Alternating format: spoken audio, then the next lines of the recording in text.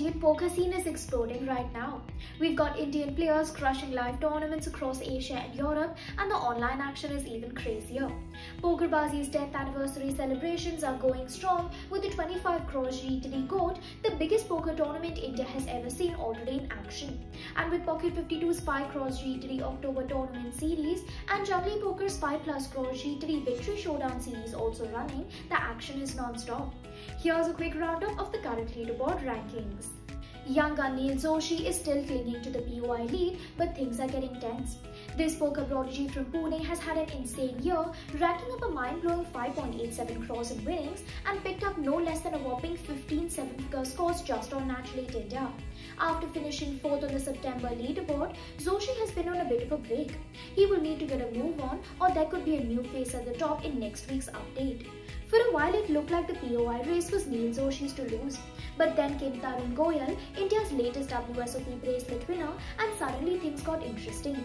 Goyal has been unstoppable on the virtual fronts and in just the past two months, he's amassed a staggering 5.55 crores in winnings with nearly 4.24 crores in profits.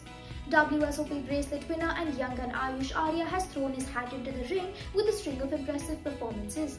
After a fantastic 14th place finish in the record-breaking WSOP online main event on Natural 8 India, Arya's total earnings for the year have shot up to an astounding 4.10 crores, putting him in the number 3 spot in the POY rankings.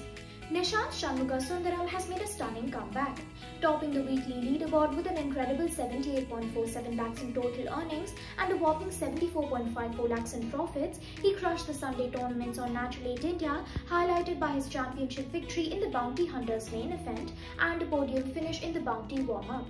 Online poker stalwart Harsh Bhabna, one of the few players to win PokerBaazi's The Moneymaker twice, made a big splash last week. He soared to number 2 in the weekly standings with a remarkable 22.71 lakhs in winnings thanks to an incredible 15 deep runs. Ashish Manod rounded out the top 3 this week with 14.28 lakhs in winnings. Staying true to his quality over quantity approach, Manod achieved this impressive haul with just 9 deep runs. His best performance was a second place finish in PokerBaazi's The Moneymaker 86.2 which earned him a solid 10 lakhs. That's it for this update. I'll be back next week with another leaderboard roundup.